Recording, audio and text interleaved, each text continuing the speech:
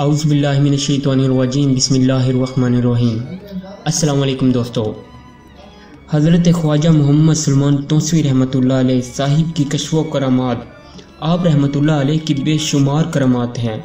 इनमें से एक आप तमाम नाजरीन की नज़र करता हूँ। हज़रत ख्वाजा मोहम्मद सलमान तोसवी रहमत के मुरीदीन में से एक मुरीद सौदागर था।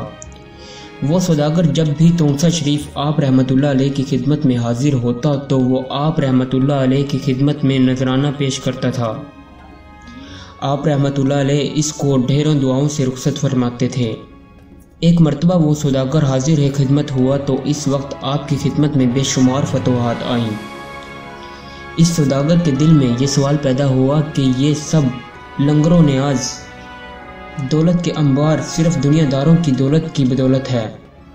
अगर ये नजराना पेश ना करें तो ये सब ख़त्म हो जाए। आप रहमत इस सौदागर की कैफियत से आगाह हो गए।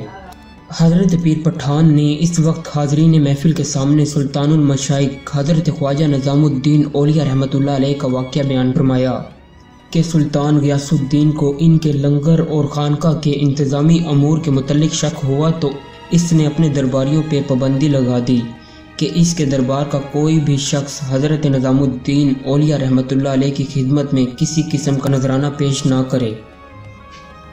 हज़रत ख्वाजा निज़ामुद्दीन ओलिया रहमत को जब इसकी इतला मिली तो उन्होंने खानका के मुंतजमीन को हुक्म दिया कि आज से खानका और लंगर का इंतज़ाम दुगना कर दें और खादिम को हदायत की जाए कि वो हसब ज़रूरत रकम हुजरा में मौजूद ताक में से ले लिया करें।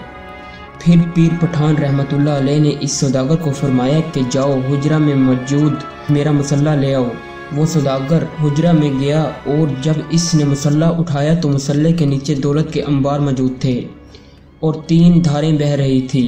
एक धार अशरफियों की थी, दूसरी धार रुपयों की थी और तीसरी धार जौहरात की थी। वो सौदागर ये मंजर देख कर घबरा गया और मसल्ला इसके हाथ से नीचे गिर पड़ा। जब कुछ देर बाद इसके औसान बहाल हुए तो वो आप पीर पठान रहमत की खिदमत में हाजिर हुआ और कहा कि मैं माफ़ी का तलबगार हूँ। दोस्तों, आपसे गुजारिश है कि इस तरह की मज़ीद वीडियोस देखने के लिए हमारे चैनल को सब्सक्राइब कीजिए, वीडियो को लाइक कीजिए। अल्लाह हाफिज़।